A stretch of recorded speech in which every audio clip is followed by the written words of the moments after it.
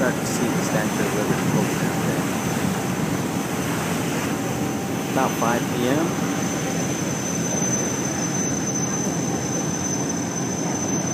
Pretty foggy day today.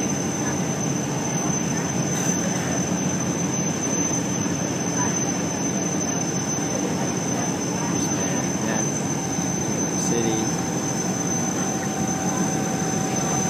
Staten Island Ferry just learned is free. A great way to see the Statue of Liberty.